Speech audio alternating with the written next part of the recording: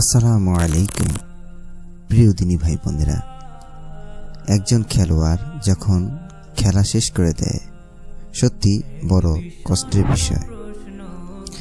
কিন্তু একটি জিনিস বুঝলাম না, তিনি কাঁদছেন আর সবাই ভিডিও করছে। এর কারণটা কি? মানুষকে দেখানোর জন্য? নাকি ইউটিউব থেকে ভাইরাল হওয়ার জন্য বা টাকা ইনকামের ধান্দায় আল্লাহ পাকই ভালো জানেন। আশেপাশে যে মানুষগুলো আছে, তারা সবাই ভিডিও করছে। আসলে, বর্তমানে এমন একটা ট্রেন্ড হয়ে গিয়েছে যে আমরা যা কিছু করি সব কিছুই ভাইরাল করতে চাই, মানুষকে দেখাতে চাই। আমি জানি না এর উদ্দেশ্য কি থাকে। অনেকে ভালো থাকে, আবার অনেকের খারাপও থাকে। এভাবে দিন শেষে একটা জিনিস বলতে চাই আপনাদেরকে। যে যেই কারণে যে কোনো বিষয় ভাইরাল করুক না কেন, আপনি কি ফেমাস হতে চান বা না চান সেটা আপনার বিষয়। দিন শেষে আপনার গন্তব্যস্থল একটি শেষ প্রান্তে গিয়ে যাবে।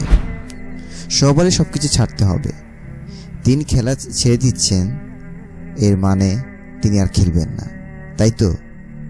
কিন্তু আপনি যদি দেখেন, আপনার জীবনে কত কিছু আপনি ছেড়ে দিয়েছেন। একজন খেলোয়াড়কে দিয়ে আমি উদাহরণ দিচ্ছি, আপনি কত পাপ কাজ দৈনন্দিন করছেন। আল্লাহকে খুশি রাখতে পারছেন না। নিজের নফসকে নিয়ন্ত্রণ করতে পারছেন না।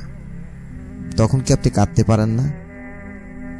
হারাম কাজ যখন করেন, তখন সাথে সাথে অনুতপ্ত হয়ে কান্নাকাটি করতে পারেন না। ওটা তো খেলার বিষয়। খেলার বিষয় যদি একজন খেলোয়াড় যদি এত কান্নাকাটি করতে পারে, তাহলে আপনার মনে এতটুকু ইন্দ্রিয়া কেন কাজ করছে না? আপনি কেন বুঝতে পারছেন না যে দিন শেষে আমাদেরকে আল্লাহ সুবহানার কাছে ফিরে যেতে হবে।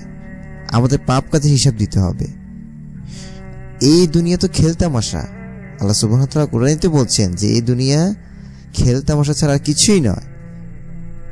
একজন খেলোয়াড় যদি খেলা ছাড়তে পারে, সে কান্নাকাটি করতে পারে, তাহলে আমরা তো খেলোয়াড় ভিতরে আছি। আমরা তো খেলোয়াড়। আমরা খেলছি। তো তো প্রিয় দিনী ভাই বোনেরা, নিজেকে এখনই সংশোধন করুন। আল্লাহ সুবাহানু আমাদেরকে বুঝিয়া মানার তাফিক দান করুক আমি